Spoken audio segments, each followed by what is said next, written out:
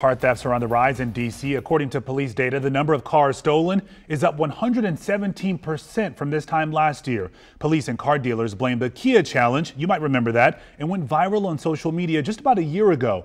Well, now one automaker is offering a possible fix for free. Delia Gonzalez is live at RFK Stadium with a look at what Hyundai has in store for some of its customers. Hey, D. Hi, Lorenzo. Actually, you know, we're told that MPD officers actually pitched this idea to Hyundai, and now we have a free pilot program for any DC resident who drives an impacted Hyundai. Folks want you to come on down to RFK starting on Thursday. Engineers will install this anti theft software in your car for free. In fact, the car company says about 4 million Hyundais nationwide without the push button ignition made between 2011 and 2022 are all impacted. Now, those cars are eligible for the safety upgrade. The clinic in D.C. comes a year after the viral social media post that made Kias and Hyundais target of thieves, as we told you. And just two months ago, Hyundai and Kia settled a class action lawsuit for $200 million.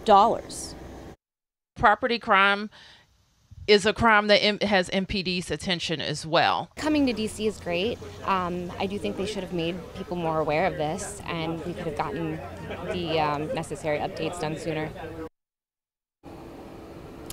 Yeah, that's what a lot of folks are saying. Folks who already had their vehicles stolen, including that young lady that we spoke to there. So the clinic runs from Thursday until Monday. Folks are going to be here from 8 a.m. to 7 p.m. It is absolutely free. No need to register. Come on down. We're told the whole process takes about 20 minutes. It'll be in uh, Lot 8, which is just right around the corner from where we are.